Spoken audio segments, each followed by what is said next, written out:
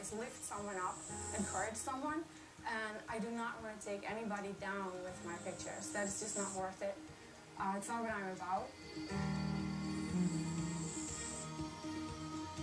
I'm from the Netherlands. I'm from Europe. I came here uh, 19 years ago, 20 years ago, for my husband's work. And um, when I came to the city, people made me very scared of the city. They told me I shouldn't go there, I shouldn't do things. And so we moved to Owings Mills initially. And then I realized how much fun the city was and how, how many things there are that you can do here. And I started walking around, I started going to cultural events. And then I would go like one block away from the event. And then I would go like two blocks away from the event. And then the next time I would go, there was like no event.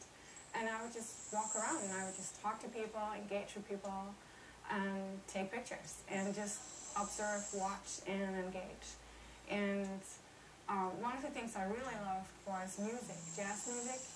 And then I was lucky enough, really lucky, um, a couple years later, and that was this year in April when the Billie Holiday uh, 100th birthday celebration was there. And there was this a concert in the Arch Social Club in the corner of Penn and North. And I bought a ticket and I went there and I stuck my camera with me and I walked inside and it, it used to be a gentleman's club and for a black gentleman on top of that. So for me walking by there in there by myself, you know, I wasn't even sure they would let me in, but it did.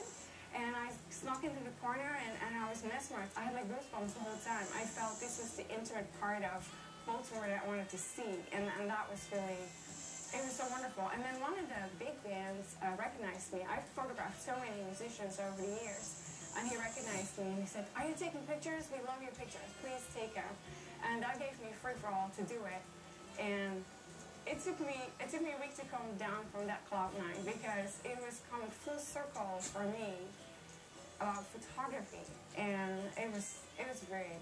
It was great. I can never imagine what it's like. Because, like I said, I'm foreign, I'm Dutch. I grew up very different. I'm white, I'm female. I am like the opposite of the demographic where that are hit the most. And I feel it's a, a big opportunity for me to learn and just listen and learn more and read about it and get understanding and then hopefully take some of my own blinders off because of course I have blinders. Everybody has them. And you just need to learn to see through them. And you can only do this if you educate yourself. Um, and, and if you open up yourself. And I, my thing always has been respect everybody. Uh, no matter where they're from, what they are, what they look like. And then if you do that and you engage with people, you, you learn more about other people. And then you just realize what enormous, beautiful inside and out people there are in Baltimore.